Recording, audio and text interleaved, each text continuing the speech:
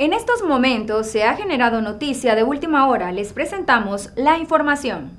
En el interior de la pensión Bonifaz, zona 1 de Quetzaltenango, en una de las habitaciones localizan el cuerpo sin vida de Guillermo Ricardo Bonifaz Blanco, de 63 años, gerente de dicho establecimiento. Su cuerpo presenta un impacto de bala calibre 22 milímetros en la cabeza y en la mano derecha. Proexamer, video y fotografía profesional.